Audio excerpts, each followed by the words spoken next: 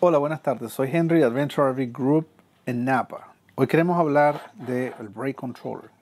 Esta caja que tenemos aquí es lo que hace que su trailer frene y se activa en su truck, en su SUV, cualquier vehículo que esté manejando, se activa a través de el pedal de los frenos. El pedal de los frenos envía una señal a, uno de los cables que tiene que atrás, el rojo. So, cuando este controller recibe una señal en uno de los cables, a través del cable azul envía una señal al trailer. ¿Okay? De esa manera es como funciona. Recibe una señal uh, indicando que usted está frenando su carro y envía una señal a través de esta caja para el trailer.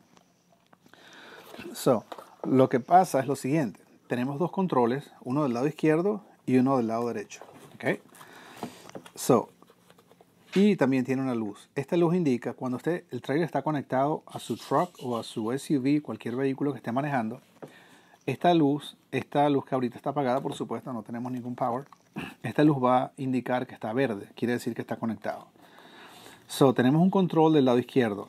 Este control, cuando está en mínimo, quiere decir que el voltaje que está saliendo de aquí es menos de 2 voltios.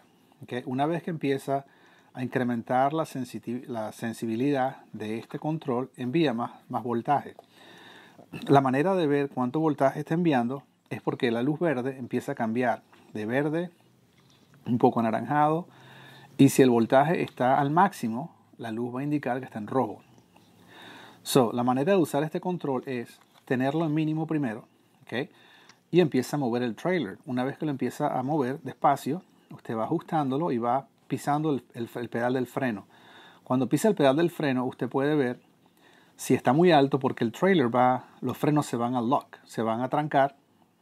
So, eso indica que el voltaje que está saliendo de este control es demasiado alto. So, necesita retrocederlo un poco hasta que pueda sentir que cuando usted va manejando su carro o su truck, los dos estén bajando la velocidad o parándose igual. No queremos que el trailer sea el que va a, parar su truck o no queremos que la truck sea lo que va a parar el trailer. Y se puede sentir la diferencia porque si el trailer pesa mucho, cuando usted frena, la truck siente que el, trailer lo está empujando. So, la mejor manera de graduar esto es empezar desde el, desde voltaje más mínimo hasta un voltaje medio. Aquí no queremos que el trailer vaya a, los frenos se vayan a trancar porque no sería recomendable usarlo tan alto. Es una de las funciones. La segunda función que tenemos, hay otro control del lado derecho.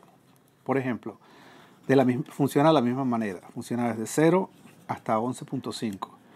Es para frenar manualmente, que es este control que tenemos aquí. Por ejemplo, si usted va, si usted está yendo por una carretera donde hay muchas bajadas, y quiere bajar y quiere no quiere usar mucho sus frenos para no recalentarlo, normalmente lo que yo hago es bajar, si es un carro automático, bajar la velocidad a segunda para que vaya la transmisión vaya vaya haciendo que se vaya bajando un poco más despacio. So, para no forzar tanto la transmisión de su truck o del vehículo que está remolcando el trailer, lo que puede hacer es usar el, el control manual. Lo que hace el control manual es que solamente, sin pisar el freno de su truck, solamente puede bajar la velocidad muy despacio del trailer, sin necesidad de trancar las ruedas. Y de la misma manera funciona. Verde es el voltaje más, más bajo que hay, uh, o maybe ningún voltaje uh, saliendo. Y una vez que empieza a cambiar un poquito anaranjado, anaranjado o rojo, quiere decir que toda la potencia del, del control está saliendo de aquí. So, normalmente la usamos como cuando llega al color un poco, un poco muy uh, anaranjado, muy, muy, un anaranjado pero muy light, no tan fuerte. So, básicamente esto le puede, uh, necesita usar un, un control para frenar el trailer porque sin, sin, este, sin este control brake controller, uh, podría tener un accidente y creo que cuando excede los 3.000 pounds, los 3, las 3.000 libras, es ilegal manejar a uh, tow un trailer sin esto. So, tiene que tener, en, tiene que tener presente que ah, si está pensando en comprar un trailer, es una de las cosas que necesita para poder ah, remolcar el trailer. Si le gusta el video, like and share. Gracias.